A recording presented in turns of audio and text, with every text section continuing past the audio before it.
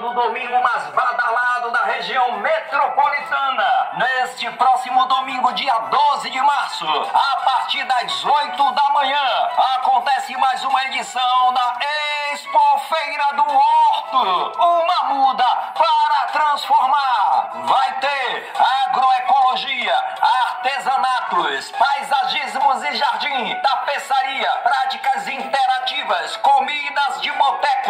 guloseimas, troca de mudas, apresentações artísticas, desfile infantil e outras novidades. Coloque na agenda, chame amigos e familiares e venham para o